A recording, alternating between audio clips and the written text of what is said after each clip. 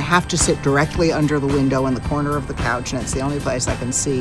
Yeah. It's just a, a, a very dark room. If we could access that space, make it more hospitable, brighten it up, and you could interact more easily with, uh, with the people you've invited.